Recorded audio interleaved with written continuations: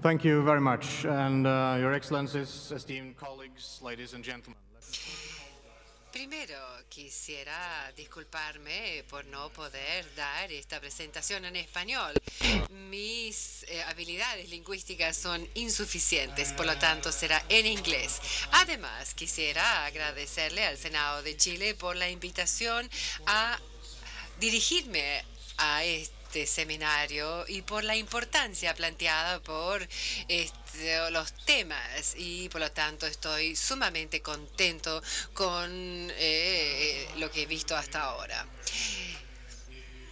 Espero poder compartir con ustedes algunas de las experiencias de Noruega en relación a transparencia y apertura del Parlamento y los partidos políticos. Cuando uno ve los índices nacionales, a Noruega le va relativamente bien y yo creo que hay muchas razones de por qué esto es así. Yo sé que se supone que no debería tomar mucho tiempo y tal vez se asusten cuando comience en el año 1814, pero eso es lo que haré, porque allí comienza la democracia en Noruega y la constitución se redactó en 1814. En su tiempo era una de las constituciones más liberales de Europa, pasado en la Declaración de Derechos Humanos de Francia de 1789. Los derechos humanos y democráticos fueron incluidos en la Constitución en el año 1814, además del principio de la separación de los poderes. A lo largo del tiempo, la apertura y la transparencia ha ido desarrollando y formando convirtiéndose en una condición fundamental de nuestra democracia. La tradición noruega mm, ha puesto un gran énfasis en la igualdad, tanto en el sentido económico como desde la perspectiva del poder. Siempre se ha buscado una en que la distancia entre los votantes y los elegidos sea lo más corta posible. Queremos que los líderes políticos sean hombres y mujeres del pueblo y no miembros de una pequeña élite muy pudiente que pudiera tener sus propias reglas y normativas desconectado de la sociedad en general. La transparencia nos ayuda a asegurar esto y además es una de nuestras mejores herramientas para combatir la corrupción. Otra razón para nuestro alto nivel de transparencia es por supuesto el vínculo entre la transparencia y la confianza. A mi modo de ver, nuestro nivel de confianza mutua relativamente alto es uno de los mayores activos de la sociedad noruega, aunque hay grandes diferencias políticas entre los distintos partidos políticos establecidos. Todos los partidos protegen nuestro sistema de bienestar social como la base para la seguridad social y estamos todos de acuerdo en los aspectos básicos, fundamentales del país. Yo represento la oposición en Noruega, pero de todos modos defiendo los aspectos fundamentales de la política, aunque sería mucho más divertido si pudiera utilizar este tiempo para hablar acerca del potencial para mejoras en Noruega con una mayoría de, la izquierda socialista, pero igual estamos de acuerdo en las bases de la sociedad, lo cual es muy bueno. Pero hablando de confianza, hay que observar que no estoy hablando de una confianza ciega, que uno cree cualquier cosa que se diga o que a uno le cuenten. En la democracia, y por cierto, en todo tipo de sociedad, una buena cuota de escepticismo es muy bueno a fin de estudiar las acciones de los líderes políticos. De todos modos, los beneficios de una sociedad con un alto nivel de confianza son muchos y el problema es lograr esa confianza y este seminario en cierta medida se trata de eso. Tal cual lo veo, la transparencia y la apertura pueden jugar un papel muy importante en este sentido y quisiera compartir con ustedes algunas prácticas de mi país, pero antes de hacerlo, quisiera también destacar el papel extremadamente importante de un medio libre, de medios libre, caracterizado durante mucho tiempo por un alto nivel de apertura en el sector público, incluyendo el gobierno, el parlamento, las leyes y normativas que aseguran la transparencia, no se generaron de un día para otro y fue rara vez que el gobierno o el parlamento que haya iniciado estos cambios.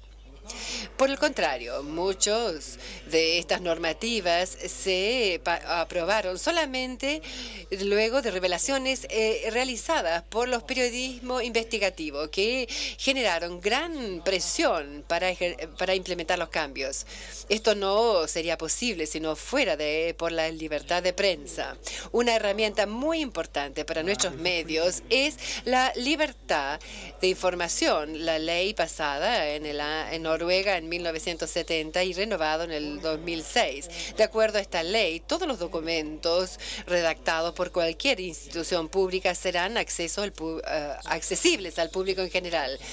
Pero hay restricciones, eh, por ejemplo, los documentos relativos a la seguridad nacional o a otros sujetos a la confidencialidad u otro tipo de documentos. Sin embargo, si existe un rechazo del acceso de tal documento, la institución debe esclarecer la razón legal de tal rechazo y tal rechazo de una solicitud para acceso a esto se puede apelar.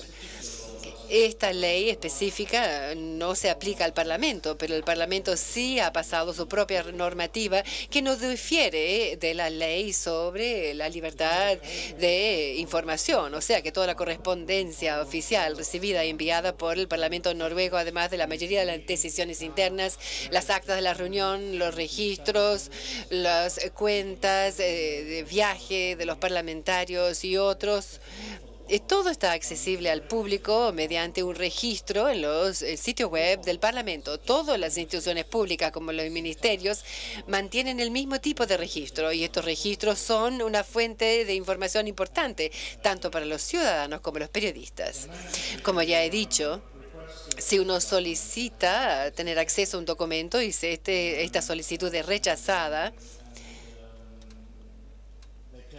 y claramente se da la razón. Em, y el rechazo es apelado, también uno puede apelar a este rechazo, porque uno puede ir al defensor del pueblo parlamentario, quien investiga si es que se ha interpretado la ley correctamente o no. El defensor del pueblo, el ombudsman, tiene el derecho de ver cualquier documento en cualquier minuto y, y verificar si es que el rechazo es legal o no. Y, y, tiene la capacidad de decir esto no es un asunto de seguridad nacional, por lo tanto deben eh, liberar el documento al ciudadano dado.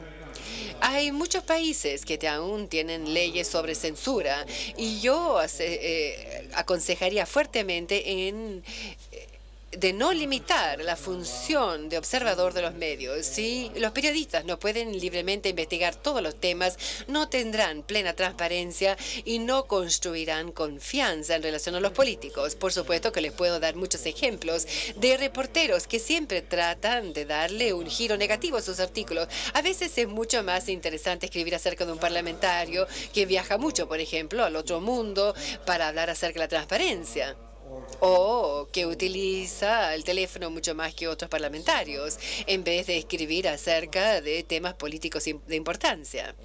Pero normalmente digo que logramos los políticos que el pueblo se merece. Y a pesar de lo que uno haga, los reporteros siempre querrán obtener los titulares más grandes.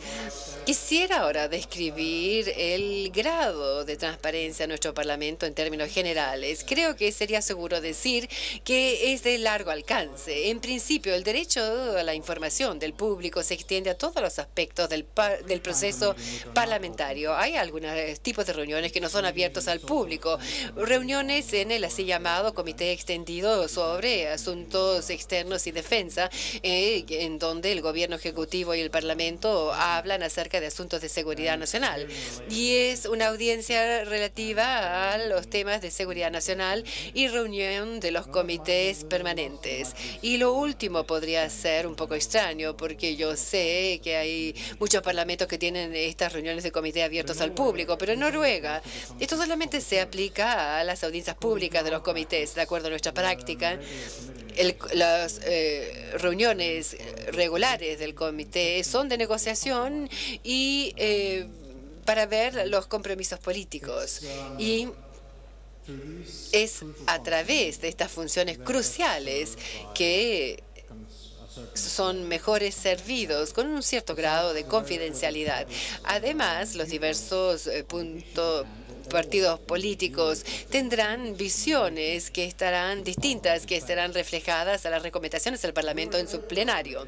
Si abriéramos estas reuniones de los comités al público, y deben recordar que en el Parlamento de Noruego tenemos siete partidos distintos, cambiaríamos el comité de un campo de trabajo hacia una arena de mayor debate político. Y esta tradición se remonta al pasado. Y uno de mis colegas anteriores con a un miembro nuevo, muy entusiasta del Parlamento, de, a un otro miembro de que cambie su punto de vista político en una reunión y que podía tomar el debate público en el debate público en vez de en este comité.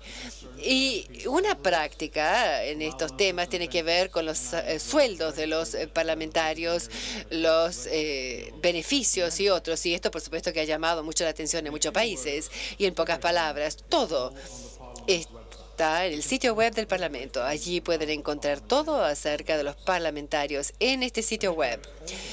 Quisiera agregar que en Noruega todos los ciudadanos, sus impuestos son también de información pública. O sea que cualquiera puede tener acceso a los impuestos anuales de su vecino, o el presidente ejecutivo de cualquier empresa, el primer ministro o parlamentarios. Además pueden estar involucrados eh, los parlamentarios en empresas y ser miembros del directorio, etcétera.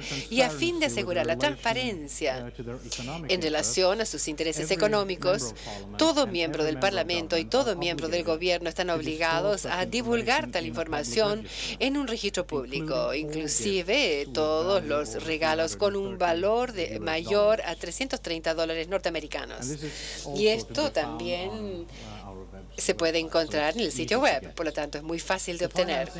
El financiamiento de los partidos políticos es otra área donde las medidas de transparencia se han introducido. El financiamiento estatal promedio representa más del 70% del ingreso de los partidos políticos en Noruega. El grueso de esto se entrega en relación a eh, los números de votos recibidos en la última elección, pero todos los partidos deben anualmente dar un recuento de todos los ingresos y egresos. Todas las donaciones de más de 5 mil dólares, el nombre del contribuyente debe ser divulgado la atención en este seminario está dirigido al Parlamento y la legislatura. Pero quisiera también hacer algunos comentarios acerca de la responsabilidad parlamentaria para asegurar la transparencia y apertura en la estructura de gobierno. El comité que dirijo, que dirijo en el Parlamento sobre los asuntos constitucionales se le ha encomendado la tarea de supervisar las acciones del gobierno en relación a las leyes y decisiones tomadas por el Parlamento. Mi comité difiere de los demás comités parlamentarios en el hecho de que puede tomar sus propias iniciativas. Esto significa que nosotros podemos podemos comenzar una investigación en cualquier minuto eh, sobre la administración pública y que encontremos necesarios a fin de cumplir con la función supervisora eh, que le es otorgada por la Constitución. Frecuentemente estas investigaciones eh, emanan de investigaciones realizadas por los medios y esto enfatiza nuevamente la importancia de la libertad de los medios de comunicación. La libertad de información. Aquí esto también es extraordinario. baste con que un tercio de los miembros del comité voten a favor y de este modo las minorías tienen un poder sustantivo regulado y es particularmente importante estos días cuando tenemos un gobierno de mayoría. El papel del Parlamento es tradicionalmente más débil cuando el gobierno tiene una amplia base en el Parlamento. Y todas eh, las normas que regulan la acción de mi comité aseguran de que el gobierno debe rendir cuenta y que los partidos que tienen gobierno no puedan detener este tipo de investigación para realizar el trabajo. Nosotros nos confiamos fuertemente en los insumos de los así llamados eh, entidades de control parlamentario, el auditor general y el ombudsman o defensor del pueblo. Muchos de los casos que nosotros vemos en nuestro comité eh, emanan de un informe de estas entidades y resulta evidente que el papel crucial que juegan estos funcionarios no sería posible sin una normativa extensa relativa a la transparencia. Tanto el controlador general como el ombudsman tienen el derecho de solicitar a una entidad pública cualquier documento que requieran a fin de poder echar luz a un caso específico. En los últimos años hemos visto que esta característica ha sido crítica para la calidad de los insumos eh, que entregan estos cuerpos externos a mi comité. Además, quisiera mencionar un tercer cuerpo de control parlamentario, el Comité para el Monitoreo de los Servicios de Inteligencia y de Supervisión y Servicios de Seguridad, que en breve monitorean los servicios secretos de Noruega. El comité responsable de continua supervisión del trabajo de estos servicios y puede solicitar ver cualquier documento en cualquier minuto en sus archivos. El comité además investiga reclamos presentados por ciudadanos y puede tomar eh, iniciativas propias. Por supuesto que el objetivo es asegurar eh, eh, o resguardar la seguridad de los individuos. En conclusión, un alto nivel de transparencia en las estructuras gubernamentales y en el Parlamento hace que sea mucho más fácil mm, mantener a los líderes políticos rindiendo cuentas y esto es fundamental para el funcionamiento de nuestra democracia. Y para reiterar lo que dije anteriormente, la transparencia y la apertura hacen que sea mucho más fácil construir confianza entre los votantes y los representantes elegidos. Si nuestro objetivo es generar generar democracias fuertes, la transparencia y la confianza deben estar entre nuestros instrumentos más importantes. Muchas gracias.